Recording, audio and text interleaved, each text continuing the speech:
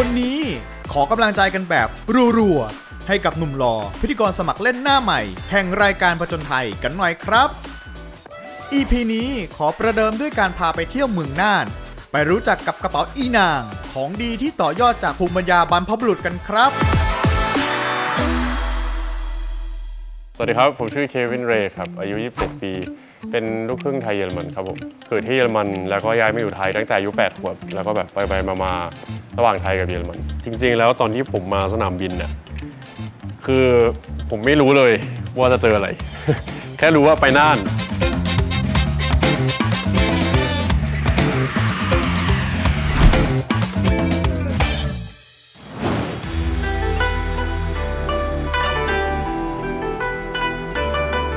สวัสดีครับผม วันนี้ผมมาจังหวัดน่านนะครับ มาดูวิธีการทำกระเป๋าของอีนาง แต่ตอนนี้ พอถึงที่สนามบินที่น่านก็มาเจอกับพี่กุ้งนะครับ แล้วเขาก็ตอนแรกก็นึกว่าจะทำกระเป๋าเลย แต่ว่าไม่ได้ทำก็ทำขนมก่อน ที่เรากวนอยู่เนี่ยมันคืออะไรครับป้ากะละแม่ครับที่จริงอะที่บ้านผมเขาก็ทำกะละแมกันนะครับ ไม่ได้ทำตั้งแต่แบบเริ่มต้นขนาดนี้เหมือนกับว่าเขาเขาห่อแล้วเขาก็ขายยายของเควินตาเควินเขาก็ขายที่ตลาดที่ลำปางอะครับ ก็แอบกินบ้างอะไรเงี้ยขโมยมากินบ้าง ต้องกวนประมาณกี่ชั่วโมงกี่นาที ถึงจะว่าโอเคสี่ถึงห้าชั่วโมงครับโอ้โหคือกล้ามขึ้นเลยเนาะสุดยอด โอ้โห กวนกันยาวๆแบบนี้ หนุ่มเควินเลยถือโอกาสให้พี่กุ้ง เจ้าของแบรนด์ แนะนำกระเป๋าอีนางกันซะเลย พี่กุ้งอะ เป็นลูกหลานไทยลื้อนะคะ แล้วทีนี้เนี่ยพี่ทอผ้าไม่เป็นแต่อยากแบบอนุรักษ์ผ้าทอไทยลื้อภูมิปัญญาของบรรพบุรุษอะค่ะอืมก็เลยบอกว่า เออเราก็คนสมัยใหม่เนาะจะให้ไปทอผ้ามันคงไม่ไหวอะไรอย่างเงี้ย อืม ก็เลยเอาเอาความชอบของตัวเองในการชอบกระเป๋า แล้วก็เอาผ้าทอไทยลื้อค่ะ มาแมทช์กัน ก็เลยกลายเป็นแบรนด์อีนางเนี่ยขึ้นมา พอกวนกะละแมเสร็จแล้วก็เอาไปห่อนะครับ ก็ตอนที่เอา เอากะละแมไว้ห่อในในในนั้นนะในที่เป็นใบอะครับ แล้วก็เอาไม้มาทำให้มันปิดอะ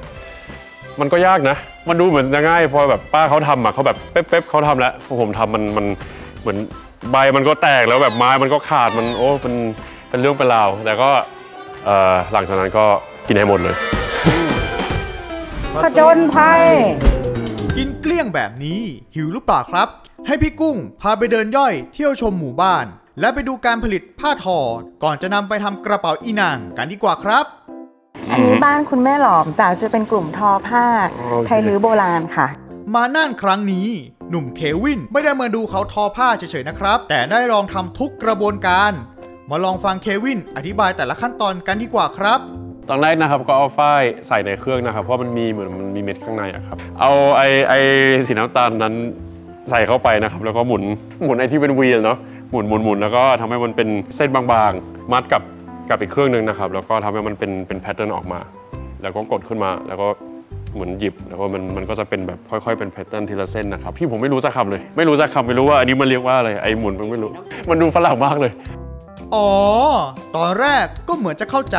แต่ฟังไปฟังมา เริ่มจะปวดหัวกับฝรั่งคนนี้แล้วล่ะครับพี่กุ้งจะพาเคลวินอะมารู้จักกับแม่หลอมอืมซึ่งแม่หลอมเนี่ยเป็นครูช่าง ของสอสปนะคะ ก็จะเป็นผู้ที่เชี่ยวชาญ แล้วก็สามารถที่จะถ่ายทอดความรู้เกี่ยวกับผ้าทอไทยลื้อโบราณนะคะให้กับเคลวินได้ ของคุณแม่จะมี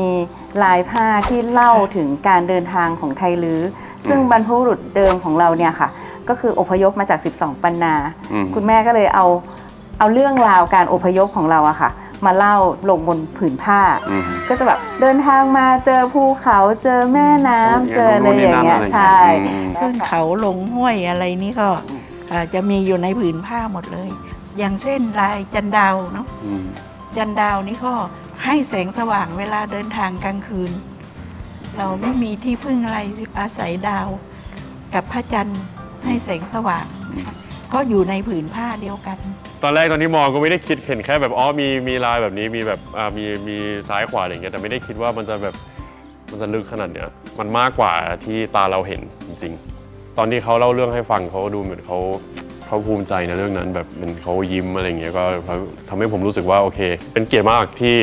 ได้มีโอกาสที่จะมาทำเราลาคุณแม่กันตรงนี้เลยนะคะ แล้วเดี๋ยวเราจะไปทำ กระเป๋ากันต่อนะคะโอเครับผมค่ะคุณแม่ไปสวัสดีค่ะ ครับสวัสดีครับผมสวัสดีครับสวัสดีครับค่ะ สวัสดีครับก่อนที่เราจะทำกระเป๋านะครับ ขอกำลังใจจากเพื่อนๆ ช่วยกดไลค์กดแชร์กด subscribe YouTube Channel King Power Thai Power พลังคนไทย เย้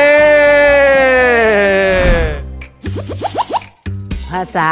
เยอรมันวันนี้เรียกว่าหมอน Kissen เคซี Kissen เคซีโอเค ได้โอเคได้อะ ภาษาไทยลือวันนี้ก็คือเอ่อห้องว่ากอบนะคะภาษาเยอรมัน Hocker โคกค่ะ Hocker ค่ะเก่งมาก ได้ผ้าทอมาแล้ว แต่ยังไม่หมดนะครับ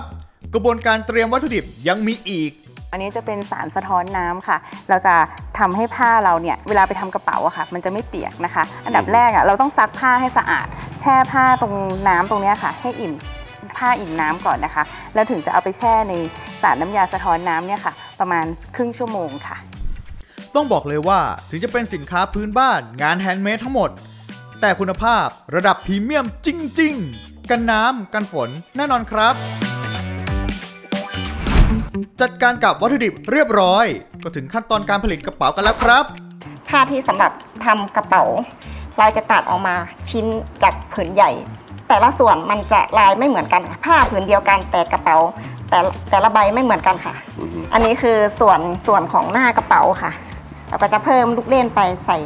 ใส่หมุดนึกออกแล้วค่ะเป็นงานละเอียดมากเลยเนาะอันนี้น่าจะสนุกสุดแล้วของวันเนี่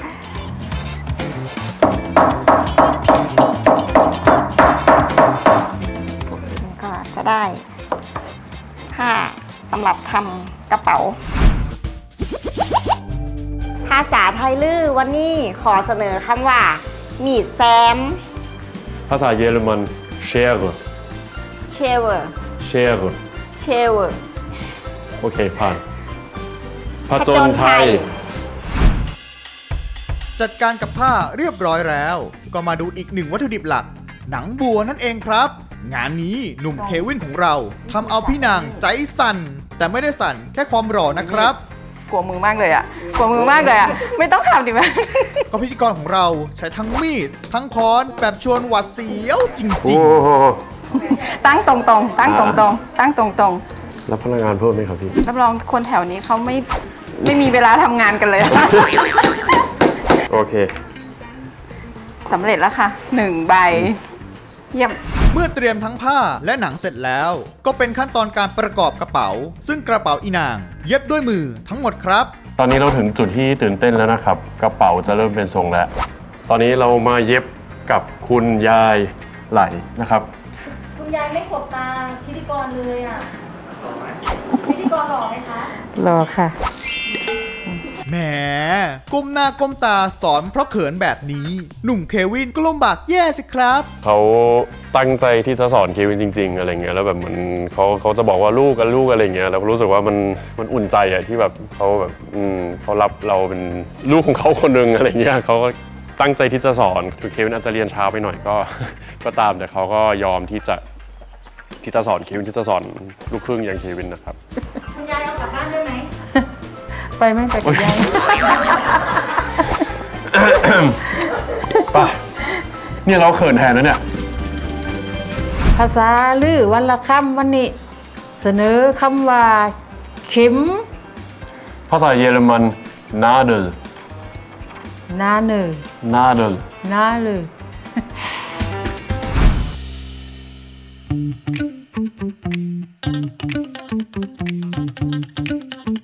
ำหรับคอลเลกชันนี้นะคะ เรียกว่าก๋วยสลากหรือลายคลามค่ะ พวกนี้จะมีขายใน King Power ค่ะ แต่ละใบอะจะมีชื่อเรียกนะคะ ตัวนี้จะเรียกว่าก๋วยสลากอีนางใหญ่นะคะ ตัวนี้จะก๋วยสลากอีนางน้อยค่ะ อันนี้จะเรียกว่าก๋วยสลากสีดา อันนี้กวยก๋วยสลากสีดามินินะคะ อันนี้จะเรียกว่าก๋วยสลากซองค่ะ พี่กุ้งเอาลักษณะของก๋วยสลากมาทำเป็น รูปลักษณ์ของกระเป๋า อันนี้ก็คือเป็นลักษณะของก๋วยสลากนะคะ แต่ว่าจริงๆแล้วมันจะใหญ่กว่านี้ค่ะ เขาก็จะเอาของที่แบบจะเอาไปทำบุญนะคะพวกข้าวสารอาหารแห้งพวกผลไม้อะไรใส่เข้าไปในนี้ วิถีชีวิตคนเรามันเปลี่ยนไปเนาะเขาก็เลยบางคนก็เอาตะกร้าบ้าง ถุงผ้าบ้างอืมหรือบางคนเนี่ยเขาก็ใช้เงินอะค่ะ ใส่ซองอืมก็เลยเป็นที่มาของก๋วยสลากซองอะไรอย่างเงี้ยค่ะ พอเขาเล่าให้เควินฟังอะเขาดูสายตาเขาจะมีความแบบมีความอยากทำมีความแบบ อยากไปมากกว่านี้อีกอะไรเงี้ยซึ่งมันเป็น inspiration สำหรับเควินมาก เราจะเอา passion ของเขาอะไปใช้กับเราเพราะเหมือนกับว่าเขาก็สอนเราด้วยว่าโอเค ถ้าอยากทำอะไรก็ต้องทำให้สุด อย่าอย่าหยุดครึ่งทางอะไรเงี้ยนะครับ ขอขอบคุณ King Power นะคะ ที่ให้โอกาสแบรนด์ของเรานะคะ อีนางได้ไปขายใน King Power เป็นการสร้างงานสร้างอาชีพให้กับคนในชุมชนค่ะ ขอบคุณ King Power มากเลยค่ะ ที่ทำให้ทุกคนมีรายได้เลี้ยงดูครอบครัว จนถึงทุกวันนี้ค่ะ ขอบคุณค่ะ ขอบคุณ King Power ที่ทำให้ย้ายมีรายได้ มีงานทำแล้วก็บ่เหงาเลยเจ้าสำหรับเพื่อนๆ ที่สนใจสินค้าดีๆ แบบนี้ คลิกเลยครับ thaipowermarket.com ตลาดพลังคนไทย